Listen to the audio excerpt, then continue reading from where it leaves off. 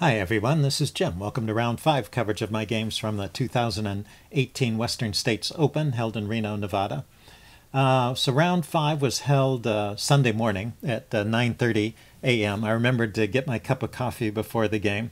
Um, I, I, didn't have a great night's sleep, so I'm, I'm starting to feel maybe a bit uh, sleep deprived at this point. And well, we saw that in my previous game in Game Four, so maybe it's more accentuated here. But this actually was a very interesting game. There weren't uh, there weren't actually many big blunders. So um, my opponent here, uh, I have the white pieces. My opponent with the black pieces is rated 1972, uh, and my rating for the tournament is 1861. So this is the strongest opponent that I've faced so far in this tournament. And, um, you know, when I have the white pieces, I, I, usually play with e4, d4, and c4 in that order. Uh, but this time I decided to switch it up and play with knight f3 instead of c4. That's an opening I've been playing around with quite a bit in Blitz and, uh, and occasionally in over-the-board games. I'm starting to feel comfortable with it. So this can lead to a reti or it can still transpose back into an English. My opponent plays the interesting reply uh, e6. I don't know where he's going with this yet, so I stay in reti lines with uh, g3. And here he plays f5. So that was uh, his intent. He didn't intend to play a d5, but he intended to play f5 and go for a Dutch defense. Um, so I obliged and played d4. I think that's the main move here. Um, also, I just didn't know what else to play. I think d4 is a very logical move in this situation, though. Opening up a line for this bishop. Obviously, this bishop is going to this diagonal and uh, or to this uh, fianchetto square, and then I'll castle. So um, I think it's a reasonably harmonious development. It is the top move uh, at this point in the database. Let's see, he goes knight f6. And now I played a move that's uh, rare here. Let's uh, first of all talk about how we could get to a normal Dutch position. So bishop to g2, uh, bishop e7. Black is going for a classical Dutch setup. Black could also go for a stonewall with um, d5, but bishop e7 is a classical, that's similar to what he played in the game. Um, c4, black castles, I castle, and then uh, d6, and knight c3. So um, this uh, is a very interesting position. The chess engine likes white here a fair amount, I think because of the extra space the white has. But uh, black is very solid here. He's controlling a lot of squares in the center, and, uh, and it's a closed position, so black will have time to uh, maneuver his pieces around and get them into the game. So it's an interesting way to play, and um, I uh, have not had such great luck with it. I, these kind of closed maneuvering positions are not my uh, strong point. And uh, so I was looking for something a little different, and I decided to play bishop g5 with the idea of just trading that bishop off. Here, let's uh, go forward a few moves. He plays bishop e7. I go bishop g2. He goes d6. I go c4. He castles, and I play knight c3. So we've got, as, uh, as I showed, uh, uh, in the previous line, a very similar kind of position in terms of white setup, just with the uh, bishop out here. Um, now the um, the trade of that this bishop for this one, I think is is good for me. I have I have a strong bishop here, and uh, and uh, black's light squared bishop is not uh, not so well developed. But I was planning to trade it for the knight as well. Even if he had, for example, played h6, I would have played this bishop takes, bishop takes and then uh, castles or maybe uh, e3 to shore up the center. And I, I, would have been happy to play this position. The point is that uh, in this kind of closed position, the bishop pair advantage that black has uh, isn't so pronounced. And these knights are often more useful in a closed position. They can hop around and find little holes in the pawn structure, places to sink themselves into. Anyway, should lead to an interesting game, so I was going to play that. The chess engine, by the way, rates this as about even, so it thinks that uh, white had a stronger advantage playing playing classically rather than playing this way. But I would be okay with this position. Uh, instead, he played a move. Black played a move here instead of kicking my bishop. He played a move that surprised me. Played knight to e4, just offering that trade of uh, bishops. So, but first I had to calculate: is this uh, is there some kind of trick here? So, for example, if I take, it's my turn, right? Yeah, I take he grabs, he could think about this move, knight takes c3. So uh, he's got a piece, I've got a piece, and the queens are under attack. Uh, but this turns out to be okay for me. I had, but I did have to calculate this line uh, during the game. Knight takes, because the bishop can escape here. Uh, let's see, he can escape here. Then I can play a move like rook to c1, defending the c pawn, keeping that knight from getting easily back into the game. And um, so at this point, he's got a, uh, a d pawn that's hanging. The material is still even, but um, his knight is a bit out of play, and it's going to be easier for me to get my bishop back into the game than it is for uh, black to get the knight back into the game. In fact, the chess engine gives quite a huge advantage to white at this point. I'm not quite quite sure I see it all, but uh, definitely white has better pieces here and better development. Yeah, I, I guess that's a key point, is that uh, the queen side here is still undeveloped. So um, anyway, he didn't go for that after I played bishop takes e7. He just took back with the queen. But that surprised me. Like I said, I thought this trade of bishops was uh, okay for me. Uh, good for me, actually. Um, so at this point, I castled. And, um, and the chess engine says I actually should have traded off that knight uh, rather than letting him take. I wasn't uh, too concerned about him taking on c3. Uh, that doubled pawn also gives me an open line for my rook, so you know it's uh, got uh, there's two sides to that move. Um, but the chess engine thinks I should take here and um, take back. I had, I had, actually calculated this line because if I can round up that pawn, um, this would probably be good for me. But he can defend it with d5. Um, and chess engine gives this line with queen b3. So um, he has to, I guess, bring a rook over to continue to defend the, uh, the d pawn there and hold on to the center. So maybe my pieces are a little more harmoniously placed. I do have an edge in development here. Uh, once again, these pieces haven't haven't yet been developed, and the queen here will uh, force him to play another move before he can develop the bishop. Um, you know, maybe also maybe he could just play c6 and defend it that way. But in any case, I didn't see myself uh, winning a pawn there, and, and uh, so I just decided to go ahead and castle. And if he wanted to take on c3, I was going to let him. And he chose to take there. So we've got two pairs of minor pieces traded off. I've got a bishop and a knight, and he's got a bishop and a knight. Uh, my pieces are developed and I'm castled, but um, I have taken on some pawn damage, and also it's still this closed position that you get with the Dutch. So the fact that he's uh, behind in development is not such a big deal. And in fact, uh, this, this position is uh, fairly well balanced, maybe a slight edge to white, but nothing to speak of. Um, and then he pushed on with e5 here. This move is actually a mistake, and it's kind of an interesting one. So if you want to uh, take a moment to uh, check this out, can you find the uh, best move for white in this position?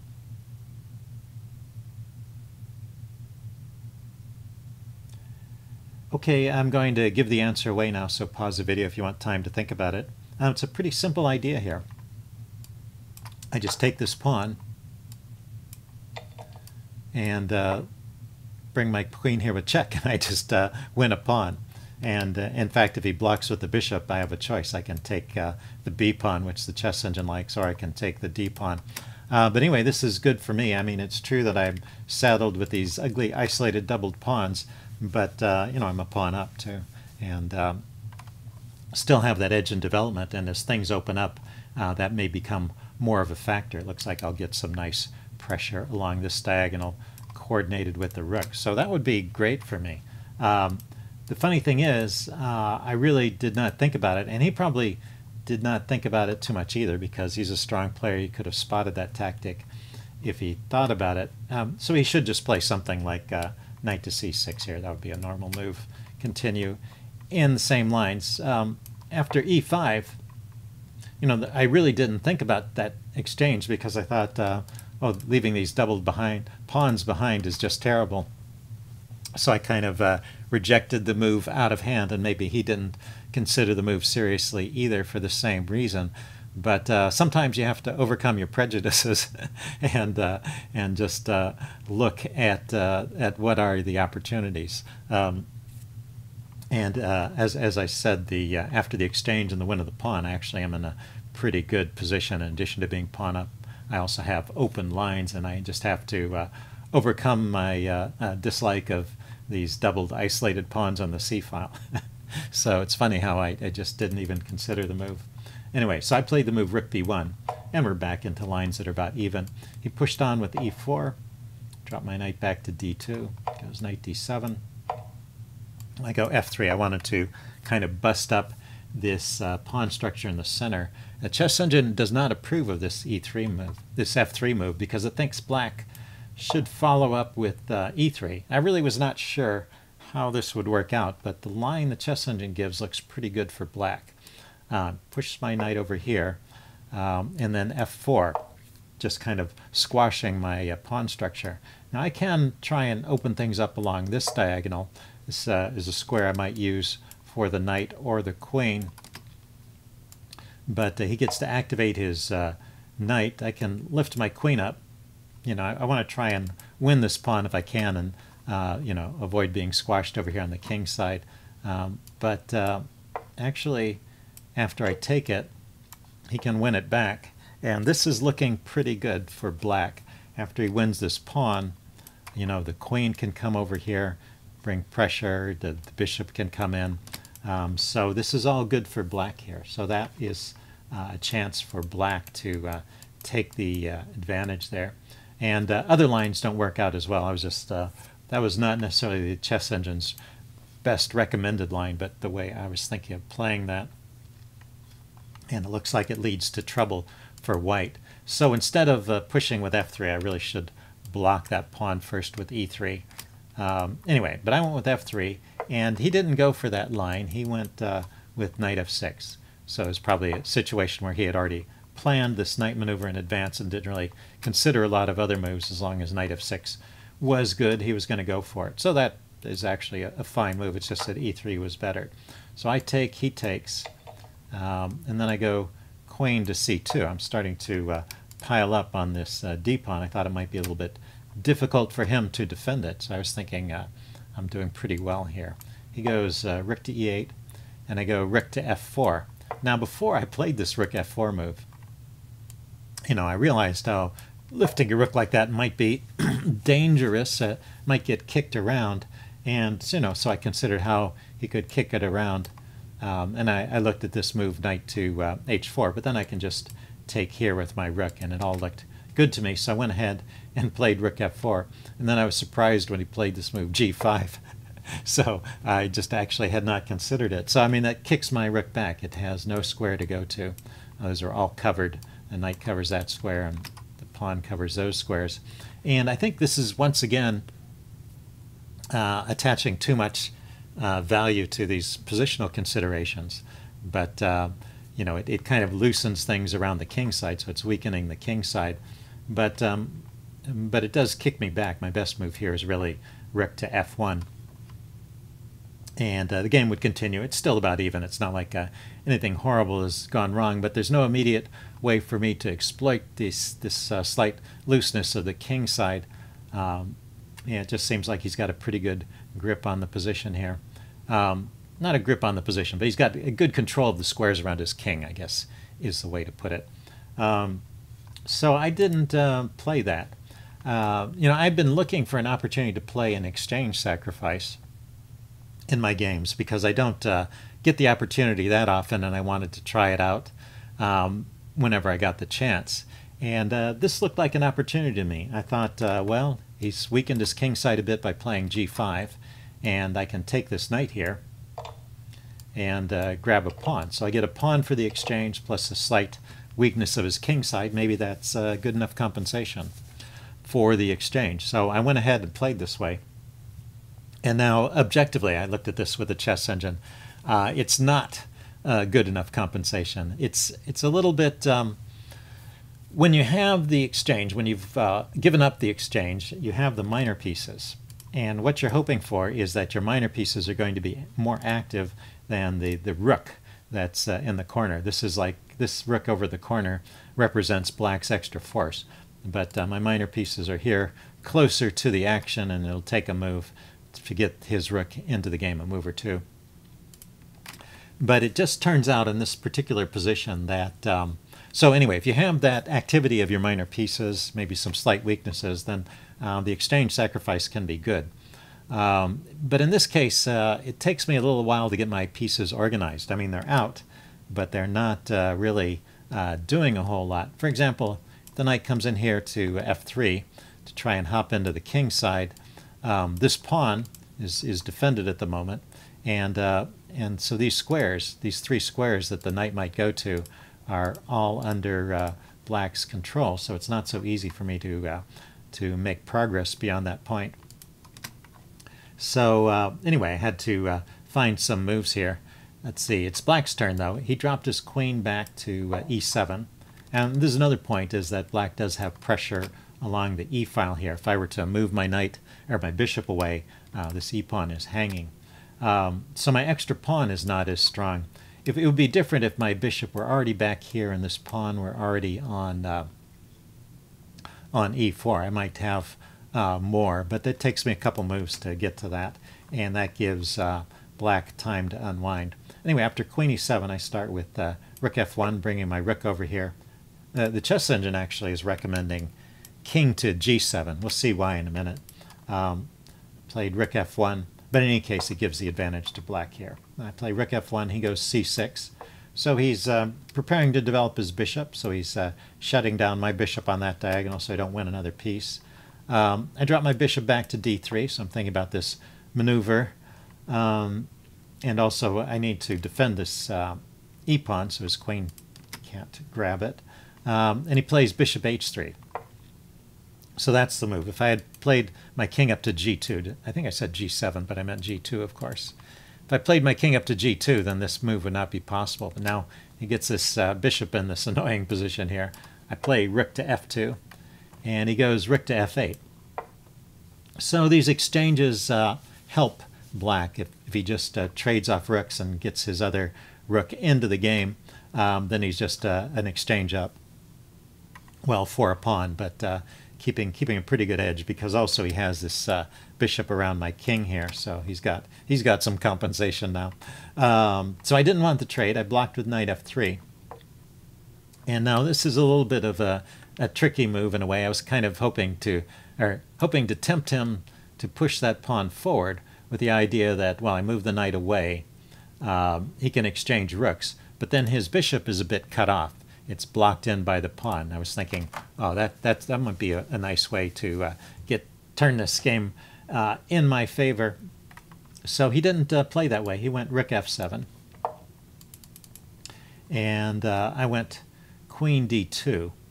Um, let's see, what's the chess engine recommending here? I, I, did look at one other line here. The chess engine recommended. I might not explore, this is a long game, so I might not explore all the options that the chess engine pointed out, but this is kind of interesting.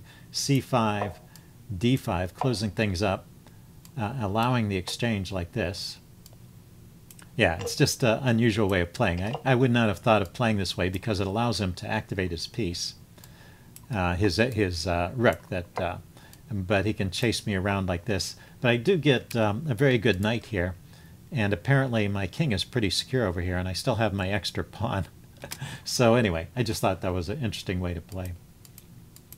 And that's the uh, chess engine's recommendation. Uh, let's see. I went with uh, queen d2 here. I'm, I'm targeting this uh, g pawn still. He played the move uh, rook a to f8. So yeah, I was kind of expecting this. Uh, now he really is threatening to push that pawn forward and uh, and win a piece. So it won't matter so much if his rook if his bishop is trapped in because he'll win a whole rook.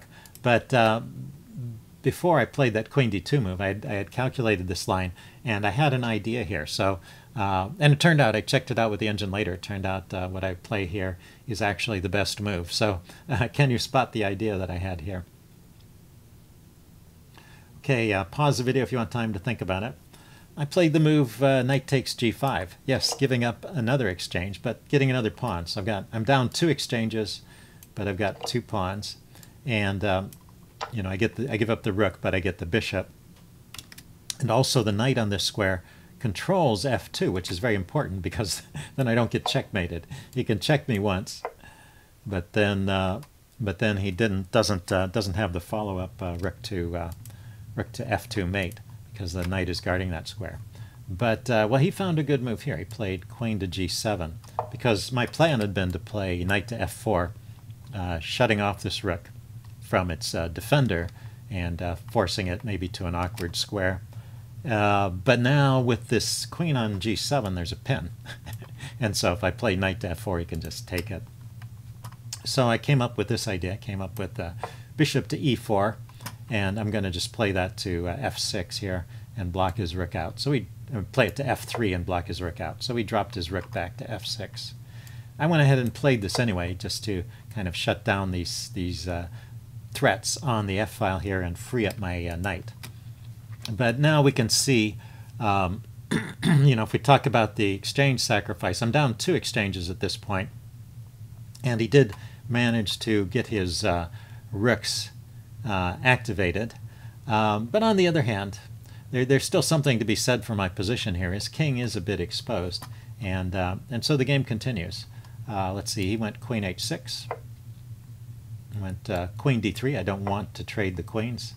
Um, the uh, yeah, well, once again, the chess engine finds an interesting way to avoid the queen trade. It plays knight g8, uh, knight g5 rather, and then say rook e8, h4 defending the knight there with the pawn. That is actually kind of an interesting way to play, securing the uh, knight on a good square, and then now my queen can can move away, uh, do something else. So uh, th that would have been interesting. Anyway, I just simply moved away. Uh, let's see, went queen g6 here, offering the trade again, and I blocked with the bishop. So he can't can't continue to offer that queen trade. He played queen h5. I dropped with the bishop now. I, I, realized I was not in such great shape, and so I was willing to settle for a draw at this point. Um, but he decided to go active, and he brought his queen over here to the king's uh, to the queen side, looking at this pawn. So I defend it once, plays queen a4, looking at uh, two pawns now, this pawn and this pawn, and I decide to hold on to the center and give up this a pawn. There, there are some downsides to taking that a pawn. So he didn't grab it right away. He played the move h6 first, so exercising some cautious cautious play here. He keeps my knight from hopping into this good uh, g5 square now that his queen is kind of out of play. And then I push on with d5. Could have gone knight f4 there, but I pushed on with d5 with the idea of kind of uh, keeping the center shut and isolating his queen over here on the uh, queen side. He pushed on with c5, and then I go knight f4 and he grabbed the pawn. So I've given a pawn back. I'm down two exchanges and I only have one pawn to show for it. But uh, his queen is on the wrong side of the board. And I have a, a very good move here. So uh, if you want to look for another uh, good move from white, you can uh, pause the video here if you want some time to think about it. I didn't check to see if this was the only or best move, but um, anyway, I think it is a good move. Um, I play knight to h5, and uh, probably an obvious move too. But uh, his his rook uh, is has trouble finding a good square. If it goes to the right or the left, I just take it. And if it goes up or down, my queen can come into this square, queen g6. And uh, he can't block the check. If he goes here, I can check again. If he blocks the check now, I can grab this rook. So the king goes here. I could even just go for a perpetual, but uh, actually, if I grab this pawn, uh, I'm actually ahead. Uh, the, the uh, now that I have these threats, these passed pawns in the center and an active, uh, active pieces, and his queen is a bit out of play, this is uh, good for me. Uh, now I do have to worry. Let's see. I have to worry that everything is happening. Yeah, yeah. Here's the other point too, which I thought was kind of interesting, is that um, this queen a2 move came with a threat, which is to uh, take this um, bishop. And so uh, when I played knight h5, I had to calculate this line too, that uh, rook takes uh, rook takes um, f3 doesn't work. Now I can't take the rook and my queen is under fire, but uh, this is uh, just leading to a mate. so this is good for me. let's see, let's check here. Oh yeah, that's just a mate straight away. So I had to see that. So um, anyway, I just wanted to point out that when uh, when black took on a2, he was setting up this threat uh, potentially against my bishop. So I had to had to calculate that before playing knight h5. Um, so anyway, he played a good move here. He did not move his rook. He just dropped his queen back. Um, let's see, it went back to a4. I had it right the first time. The queen went back to a4 so that it could uh, come in along this uh, light squared diagonal. Um, and so, well, I, I, get the exchange back. And so now I'm just down one exchange and I have a pawn for it. And, uh, you know, it's a bishop versus a rook and I have an extra pawn. But he does have the passed pawn over here. So black is still uh, better in this position, but uh, um, maybe had a stronger advantage earlier. Anyway, I went with uh, queen e4 here. I didn't want his queen coming into the back rank, but he brings a queen to uh, d7. The bishop g4, kicked the queen around. The queen went down to d8, and then bishop to e6 check. He went king h8. So that was move 40. We just uh, made the time control, and some of those moves might have been played a little quickly, but I had time to uh, think here. And uh, I came up with this idea pushing my pawns forward on the king side.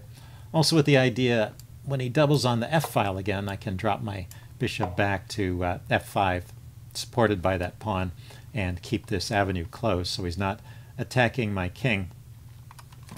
But black does start uh, counterplay on the queen side with uh, a5.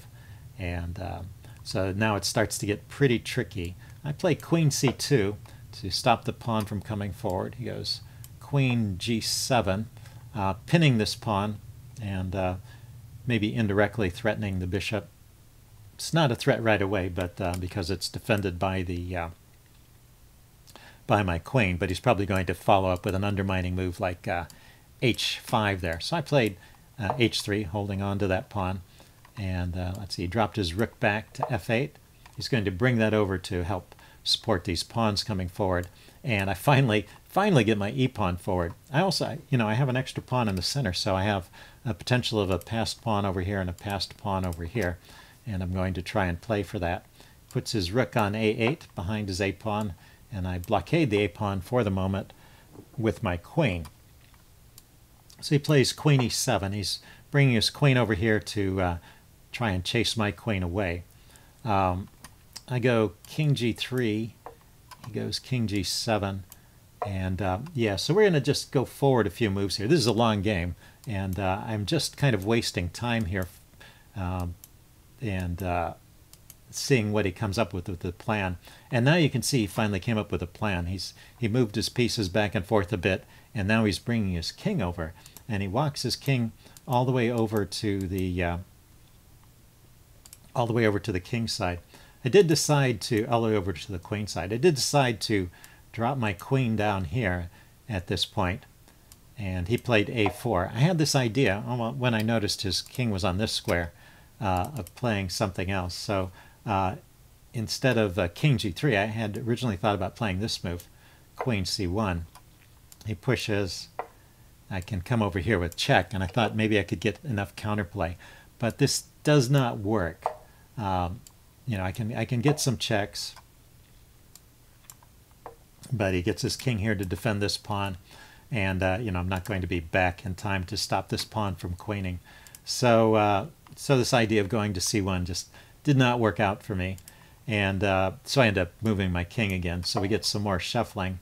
So I'm, I'm, basically not doing anything here. I'm just moving my bishop back and forth and letting him walk his king over. And I'm just kind of seeing what his plan is. And uh, when the king went to b6 there, I gave the check with the queen. Went all the way to a7. And I put my queen back over here. And now he plays queen e8. So he's defending, defending this pawn with his queen so that he can bring his rook in and down and chase, chase my queen back. So that's his plan now. But at the same time, he's put his king over here. Uh, I guess the idea was it's it's around all these pieces, so I can't uh, continually harass it, and now he's free to uh, push these pawns forward. But I can start pushing pawns forward on the uh, king side.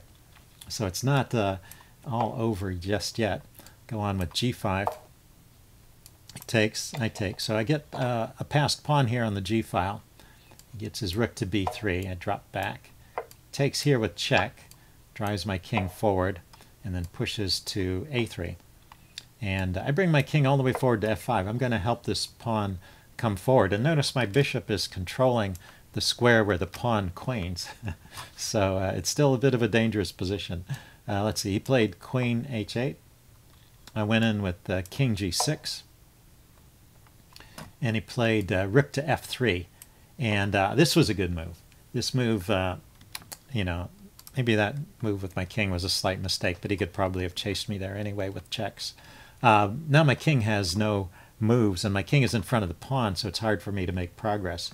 But on the other hand, uh, it's actually hard for black to make progress too, because his pieces are out of the way. But he has has a plan here. So anyway, I played um, queen e2. I was chasing his rook to see where it was going to go.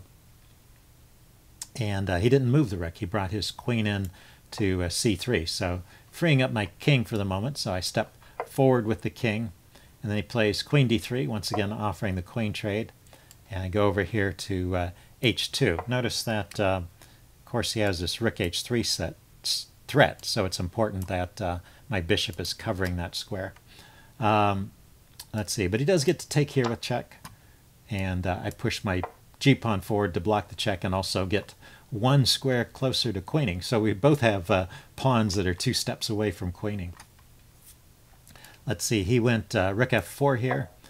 So He's just uh, shuffling his pieces around a bit. Um, oh, he's also making this threat.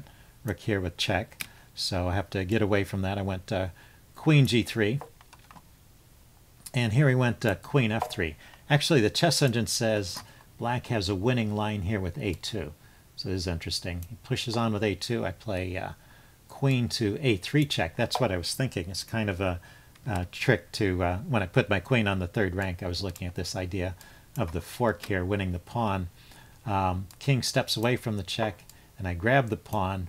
The problem is he plays uh, rook f6 here, and now my queen is away from the action, and um, there's actually a forced mate here for black. So that is a winning idea for black right here, starting with that pawn push, sacrificing the pawn to uh, uh, to distract my queen, and then rook f6, ganging up on this pawn, uh, is is is uh, leads to a mate. So anyway, it's not so easy to see. It's like a mate in six or something, but uh, it is easy to see in general that, that black has a strong attack with my queen on the wrong side of the board. so anyway, he, he played more simply. He blocked with uh, queen f3. I think this also keeps a winning edge here. Um, I dropped my queen down to e1. I was still looking to keep this idea alive of the check and grabbing the pawn if it comes forward. So he played uh, king b6 getting away from that check. And I brought my queen over here, queen b1 check. He brought his king back to c7, and I brought uh, my queen up to uh, b5. And now this is very dangerous. Uh, there's no immediate uh, mate threat from black. Um, that mating idea he had before is, is no longer there. And, um, and his own king is in danger of getting caught in a uh, and a net of perpetual uh, checks. So uh, there's only one move here actually that is uh, winning for black. Uh, other moves uh, lead to draws, probably through perpetual. So see if you can find the only move for black here. Okay, I'm giving the answer away now. Uh, my opponent found it. He took his time and played rook to f8. And uh, you know, by now we're actually up to move 74, and time time pressure starts to uh, get in, uh, occur again, uh, because uh, you know you have to finish the game in an hour after making the move. Uh, 40 time control, you have the, to worry about finishing the game in an hour. Um, anyway, rook f8 was a good move, and that that saves the day for black. So I can give some checks, I, and I do. Queen d7 check goes here. Um, I can take here with check goes in the corner. And now I was originally intending to uh, play here uh, with the idea of coming over here to check and taking this pawn if it comes forward. But I realized right here that uh, that uh, black has a mating idea now with the rook on the back rank. So uh, if it were black's turn to move, do you see the, the mate threat? Okay, I'm going to give the answer away. If you want time to look at it, uh, you can pause the video here. But let's say, for example, I take the pawn, and he has this check on the back rank. Oh, well, actually, it's quicker. Let's do it the quickest way. He has this check here. He just has to avoid uh, the square where the bishop controls. Uh, and then my king only has one move. And, uh, you know, I am attacking the rook, but the queen drops back, and that's a mate. So simple simple mate in two is, is threatened here, and I have to do something about it. So no time to grab this pawn. I have to come back. And then um, he played queen to f2, offering another trade. Um, I played queen to h6 there's still some ideas here. For example, uh, you know, I have two passed pawns. I managed to snag that pawn. And if somehow I can get him to trade uh, his rook for this pawn, I have I have chances of queening with this pawn where my king is. Uh, but he plays this very well. Let's see, he plays queen f6, which uh, in a way is aimed at discouraging me from pushing that pawn forward. Um, I go forward anyway. He takes, I take, and then he plays a key move here. He plays rook to d8, putting the rook in front of my other passed pawn. So um, I push this forward. Notice he can't take that pawn because this one queens. And of course his pawn is going to queen too. But I go to uh, d7. He gets a queen. And uh, I get a queen. Because um, Um, but it, this doesn't work out as well for me. If, anyway, well, I'll just show what happens. I get a queen. He takes. I take. And then uh, he brings his queen over with check. And then I resign at this point because his queen is stopping my other pawn from queening. Just if, uh, if we could back up a second. Um, if somehow I could have arranged it to uh, force him to sacrifice the rook for this pawn and queen this pawn, then uh, this would be uh, a lot better for me. Uh, even if I don't queen that pawn immediately, say I just have a bishop, a pawn, and a king. If I have these three, then uh, my king is always in a position to uh, threaten to queen that pawn, and his king is out of the way. So he may have to resort to some sort of perpetual. It's not so easy with my bishop controlling the queening square there. It's not so easy to stop me from queening that pawn. And if he has to give his queen for that pawn, then uh, then well, I have I have good winning chances actually but because uh, because he gives up his rook for this pawn, it leaves me with uh, just this awkward situation where I have the king, the bishop, and the pawn, but it's the wrong pawn, and this check uh, just puts an end to the game because he stops me from queening. Anyway, it was a very interesting, uh, uh, complicated game. I hope you guys enjoyed this, and I will see you next time.